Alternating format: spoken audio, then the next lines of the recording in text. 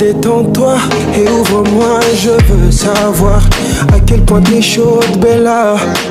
Oui, à quel point tu es chaude, Bella. Ça y est, tu as pris la décision de faire euh, tes microlox. Sache que tu vas passer par trois phases.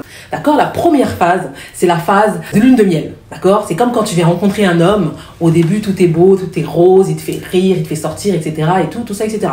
Pour les microlox, tu vas tomber sur des photos exceptionnelles de filles qui ont des tignasses de malades, une touffe, des cheveux frisés, une longueur de malade. Je vais vous mettre quelques photos pour que vous puissiez voir.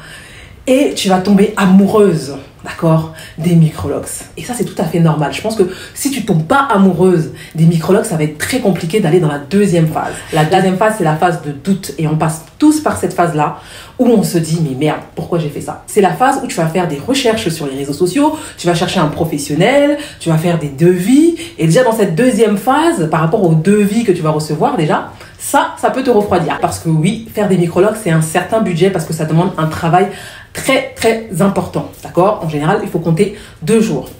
Donc, une fois que tu as fait ton devis, une fois que tu as choisi ton professionnel, tu as fait la pause. D'accord? Déjà là, ton idéalisation que tu avais au départ, elle risque de baisser. Pourquoi? Parce que tu t'es as idéalisé des personnes qui avaient 5, ans euh, de LOX, 2 ans de LOX ou 3 ans de LOX, qui avaient un type de cheveux assez particulier qui est peut-être pas euh, ressemblant par rapport au tien. Et tu vas être dans cette deuxième phase de doute où tu vas te dire merde, dans quoi je me suis lancé C'est pour ça que je dis qu'avant de faire des locks ou des micro-locks, vraiment posez-vous vraiment véritablement.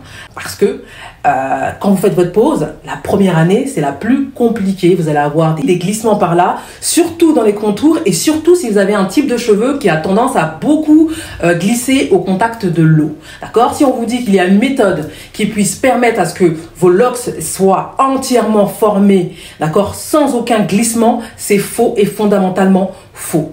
Donc, la phase de doute, d'accord, c'est la phase numéro 2 parce que c'est l'année la plus compliquée.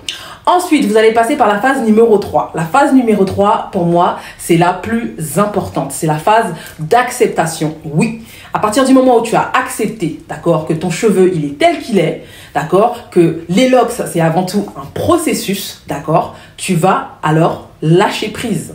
Tu vas lâcher prise, tu vas arrêter de te comparer parce que souvent, nous les femmes, vous savez ce que c'est? On adore se comparer à telle personne, telle personne a 50 locks, moi je veux ci, moi je veux ça. Et malheureusement, si tu n'as pas un cœur très très bon, donc vous risquez d'avoir des frustrations et vous risquez de vous demander pourquoi j'ai fait cela. Donc voilà, c'est pareil quand vous voyez par exemple une personne qui a 50 de locks, si vous venez de commencer avec les cheveux courts, vous n'allez pas avoir le même résultat que cette personne-là parce que c'est un processus. Pareil pour l'entrepreneuriat. Si tu es dans l'entrepreneuriat depuis 5-6 ans et que tu as atteint un certain niveau, tu as réussi à développer ton entreprise, une personne qui vient de se lancer, elle va passer par les phases où son entreprise doit avoir un minimum de croissance, à moins d'avoir énormément d'argent, à moins d'avoir énormément euh, de connaissances. Mais sinon, tout est une question de processus. Donc une fois que tu as réussi à dépasser ces trois phases, je dirais, très importantes, tu es prête à commencer ton aventure euh, LOX ou euh, micro-LOX.